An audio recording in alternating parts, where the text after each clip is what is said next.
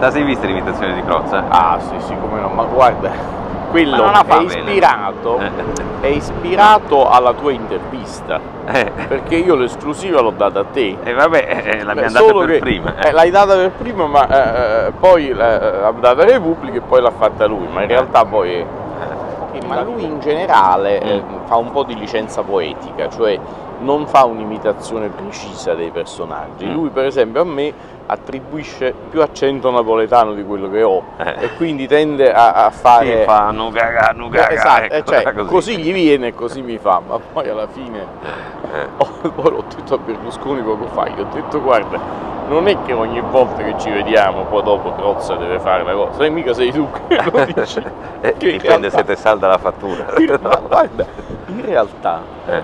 Quello che io ti ho detto era per difetto perché abbiamo parlato perché vi ho fatto una riunione su queste vicende. C'è una fideiussione sua per 100 milioni su Forza Italia 100 milioni di euro. eh? Di euro. Sì. e sommando le fideiussioni che ho messo io abbiamo constatato che è un milione Hai un milione di fideiussioni? di No. fideiussioni. Io ho fatto fideiussioni alla DC come partito, come fondazione e come giornale.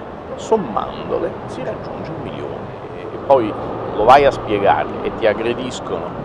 Cioè spiegare che io spendo più di queste cose di quanto guadagno come deputato, non lo puoi manco dire perché la gente ti dice "Eh". Vabbè, ma la fideiussione è una cosa diversa. No, la fideiussione La adesso, paghi. adesso bisogna rientrare, anche Sì. perché io ho detto in questa fase qui conviene che facciamo delle milione. transazioni, è tutto finito, no, non sarà un milione ma 400 ce li metto, non c'è da illudersi. Eh. Ma io non, non sono assolutamente dispiaciuto perché con la stessa obiettività, se sommi quello che ho guadagnato facendo il deputato per 13 anni, prima il consigliere regionale, la politica mi ha dato, si è ripresa, una partita di Eh, vabbè, giro, ma- abbiamo cambiato. Zero, nessuno.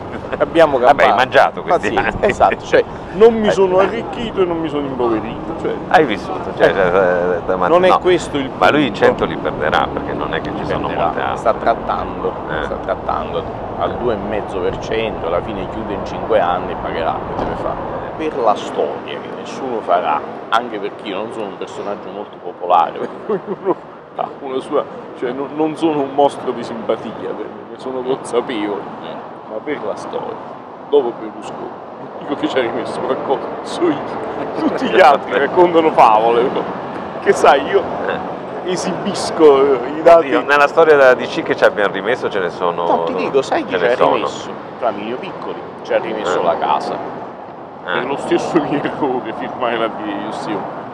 Aveva una casa, credo a Orti della Farnesina, lì, dove A gli ha- Balduina credo, eh, perché gli lo vedevo, io abitavo. di abitare fino alla morte sua e della moglie. Poi dopo se l'è presa la banca, insomma. quindi- Quindi è la figlia che ci ha rimesso. La figlia poverina credo ci ha messo anche qualcosa d'altro oltre la casa, perché lui firmò la fideiussione sulla riunione, penso un po', dell'internazionale democristiana. Quindi lui oh, pagò albergo e ristorante a tutti i delegati di quando era presidente dell'internazionale DC.